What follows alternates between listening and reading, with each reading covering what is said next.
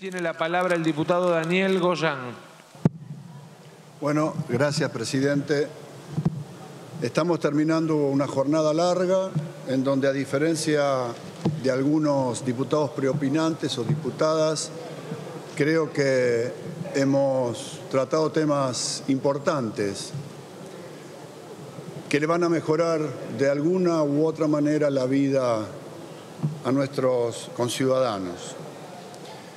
Esta última ley que nos toca tratar ahora es probablemente una, una ley que tiene aspectos por ahí un poco técnicos, pero que ha sido consensuada en la Comisión de Salud, de Acción Social y Salud Pública, y que cuenta con el aval de todos los bloques. Así que damos por descontado de que este, vamos a poder aprobar esta media sanción. Les decía que es una cuestión un poco técnica, porque ciertamente hablar de resistencia antimicrobiana puede sonar para muchos que no estén en el área de la salud o de las ciencias de la biología, de la medicina, le puede resultar extraño, pero realmente hay que entender que es un problema serio porque la humanidad se está quedando sin recursos terapéuticos para tratar enfermedades producidas por microbios. Es muy probable, y esperemos que no, pero es muy probable que algunos de los que estemos en esta, de los que estamos en este recinto, necesitemos un agente antimicrobiano en el devenir de nuestra vida y no lo tengamos. No esté disponible el tratamiento adecuado para una enfermedad, porque se está produciendo una pérdida de eficacia cada vez más acelerada de esos recursos terapéuticos. De por sí esto se produce naturalmente, pero la existencia de una serie de prácticas inadecuadas hacen que este proceso se vaya acelerando mucho más y no le está dando tiempo a la ciencia a buscar alternativas. Hay hoy bacterias que no tienen el antibiótico correspondiente.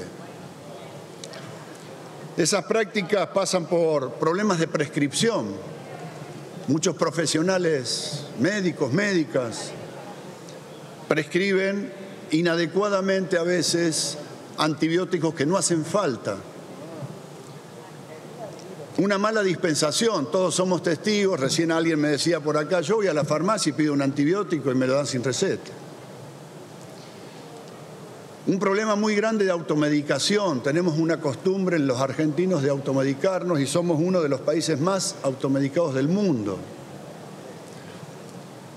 Una cuestión que tiene que ver con el, formato como, con los que se comercializan los medicamentos, ¿no? que nos dan una cantidad que no alcanza para el tratamiento, lógicamente al tercer día nos sentimos bien, dejamos el tratamiento, pues si ya estoy bien, tomé tres días de antibiótico en lugar de los siete que corresponde, y lo que sucede es que seleccionamos las bacterias que aguantaron los tres días y después esas se reproducen y son obviamente más resistentes y necesitan más cantidad de antibióticos. También tenemos un problema que está vinculado al engorde, de animales, particularmente en, la industria avícola, con un uso enorme de antibióticos para la profilaxis, la metafilaxis y los tratamientos de los animales que ya están enfermos cuando ya se enfermaron, que ahí estaría bien, pero para la profilaxis es un uso absolutamente inadecuado y desproporcionado que luego se transmite en resistencia bacteriana hacia los seres humanos. La mala publicidad que genera expectativas y banalización sobre el uso general de los medicamentos, aunque particularmente de estos artículos no se pueda hacer una publicidad, la banalización continua que tenemos sobre el tema de cómo se publicita el, consumo de los, de los medicamentos en general forma un sentido común que hace que terminemos equiparando cualquier medicamento a cualquier otro y entre ellos los antibióticos o los antimicrobianos. En fin, hay una serie de factores que están produciendo hoy esta situación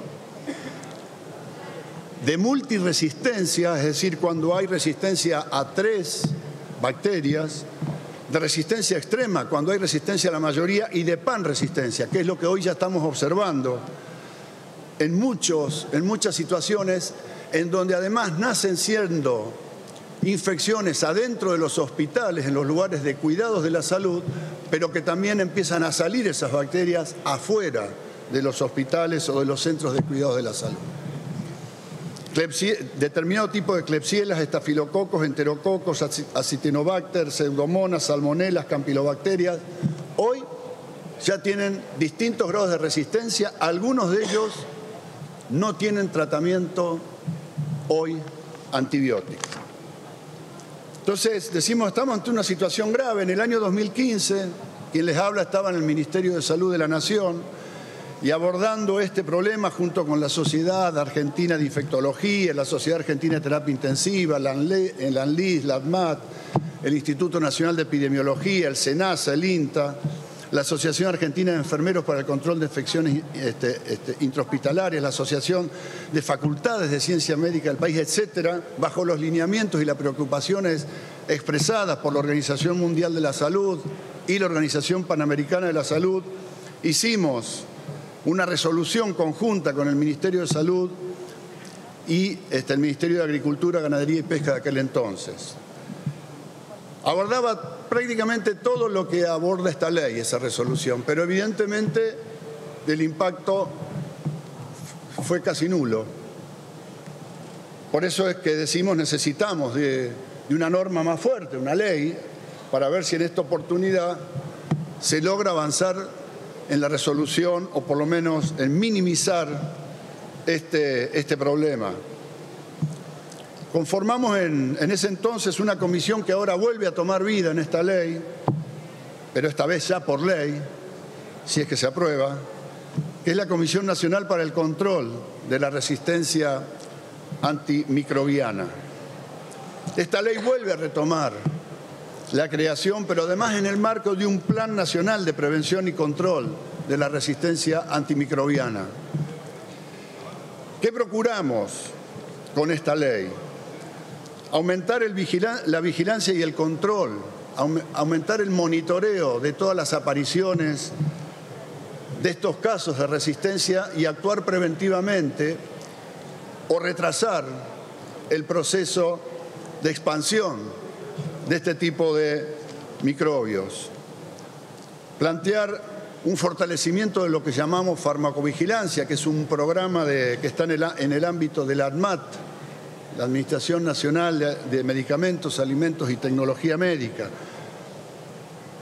Mejorar la investigación, mejorar el uso racional y adecuado a través de la concientización, trabajar sobre la prescripción y sobre la dispensación, a través de la creación además de la figura de receta archivada para este tipo de medicamentos, de manera de que no se pueda ni dispensar, ni, prescribir livianamente. Trabajar sobre el tema de la publicidad, que ya nos vamos a referir un poquito hacia el final, es un problema mucho más amplio que este de la resistencia antimicrobiana. Trabajar sobre el tema de las muestras gratis. Ustedes saben que muchas veces se van a los consultorios, sobre todo en aquellos lugares donde la gente no tiene recursos y el médico le entrega cuatro, cinco, diez medicamentos que tiene ahí de muestras gratis, antibióticos. Y se produce esto que le estaba diciendo antes, las personas toman esos antibióticos dos, tres días, no cumplen el tratamiento y están alimentando fuertemente la resistencia antimicrobiana.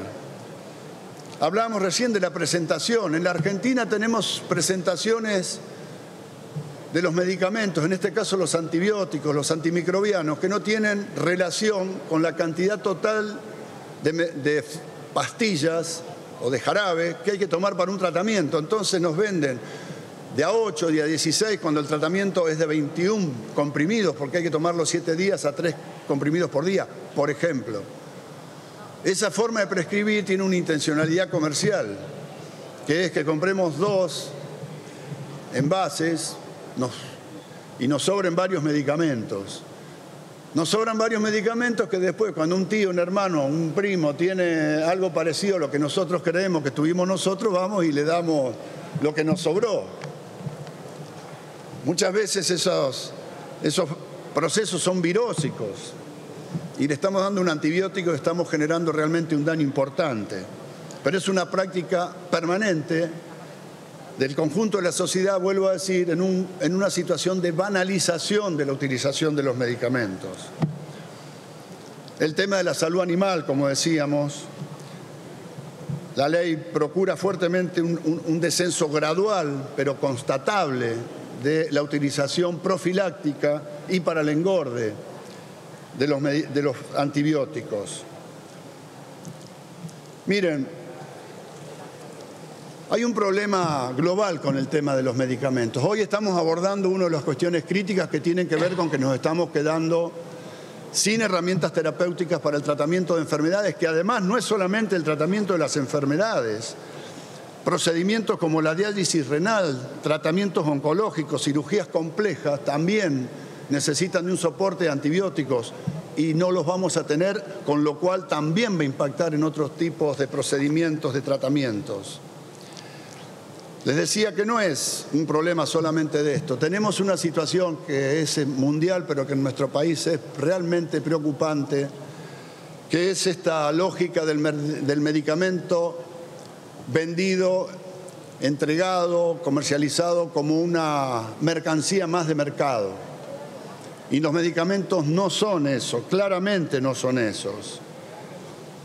Hay trabajos que nos están mostrando que en el mundo la morbimortalidad que están produciendo el uso indiscriminado de la medicación y de la automedicación hoy ubica un segundo o tercer lugar en causas de morbilidad y de mortalidad. Es un tema grave. Producto, vuelvo a repetir, de una lógica de mercado cuando se considera a los medicamentos. Y eh, terminar diciéndole, presidente, que mm, si rigieran normas de la época de Ramón Carrillo, si rigieran normas como las leyes conocidas como las leyes de Oniatibia, de comercialización de medicamentos, estas cosas no sucederían. Estas cosas no sucederían porque no se podía hacer cualquier publicidad en la ley Oniatibia. En la ley Oniatibia habría, había que demostrar cuáles eran los costos reales de producir un medicamento. Era una ley que realmente le daba un sentido social a, este, a esta herramienta que es tan importante, pero que si terminamos utilizándola mal, se produce que la necesidad de que todos los ciudadanos y todas las ciudadanas puedan acceder a los medicamentos en condiciones de equidad, pero también con un criterio fuerte de racionalidad, eso se vea realmente en jaque.